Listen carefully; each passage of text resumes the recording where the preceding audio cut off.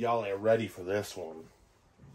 Hey, what up, YouTube? Welcome back to the channel. I am the Fitted Insider. Got a quick video for you guys. Got two hats, okay? Two beast hats. Crazy hats. Both of them coming from retailers that I have never copped from before. So obviously never being showcased on the channel, whether that be this new channel or the older channel. This is brand new. I'm not gonna lie, one of them is pretty hype.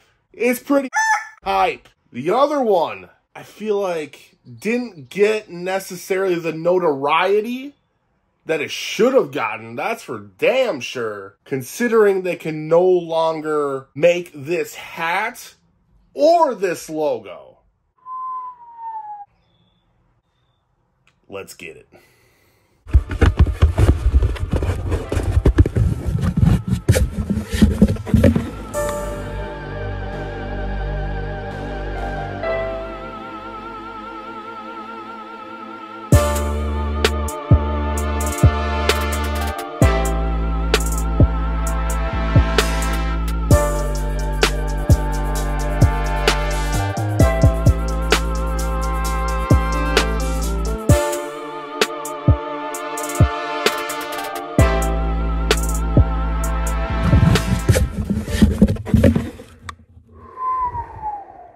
So let's get this. Once again, I got two hats coming from two different retailers that I've never copped from before.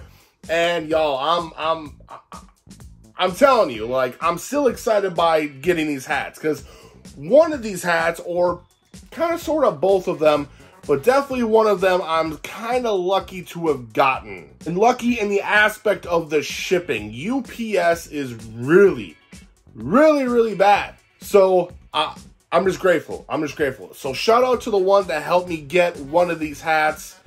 You're the one. Thank you very much. Speaking of which, so here we go.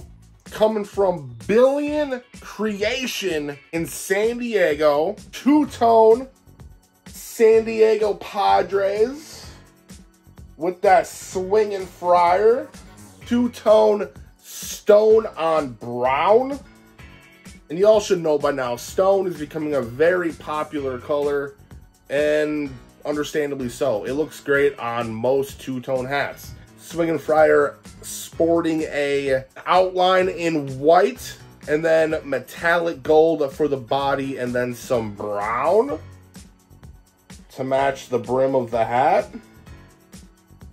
Yes, sir. You guys probably already saw it. No patch. We got the Batterman on the side, y'all. The swinging Padre AWAX. I'll take it. I, I, I think that's dope. Come on, let's do it. Let's do it. So again, oof, flat batty Padres colors. Looks amazing. Obviously, nothing on the back. Clean, tonal, New Era flag. At the retro Kelly green bottom, black sweatband, polyester made in China. So I saw Billion Creation post this. I'm like, I need to get it.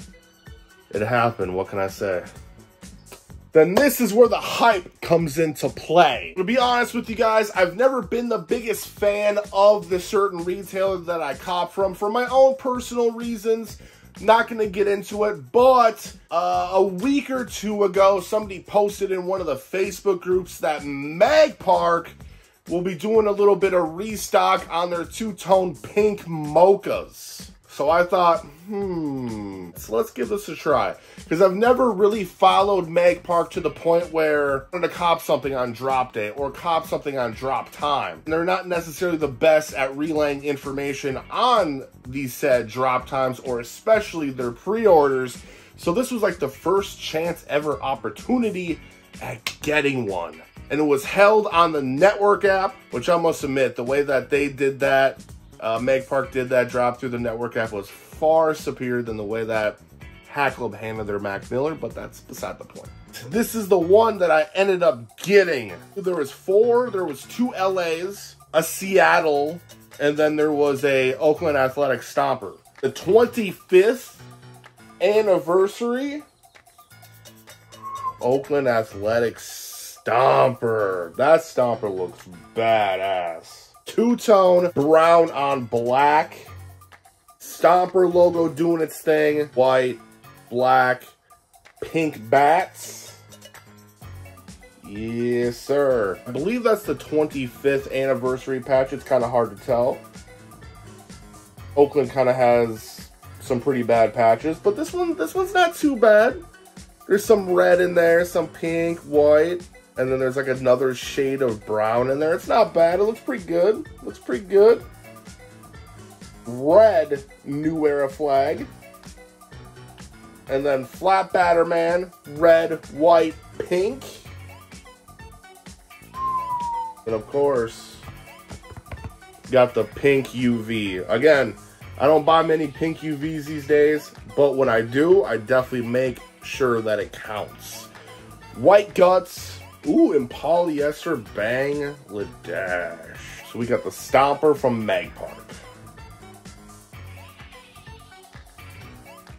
So that's it, y'all. Let me know what you think down below if I kind of overreacted by getting these hats. For me, it's not really an overreaction or whatever you might want to call it. I mean, Magpark speaks for itself. It's kind of hard to get their hats because of their exclusivity. On top of that, billion creation, this hat just simply will never be made again. So I think that aspect is really cool. The Swinging Friar is becoming no longer Swinging Friar is being pulled from the New Era catalog, but I didn't know that at the time, to be honest. I just like the colorway, the stone and the brown, and that, of course. Come on now.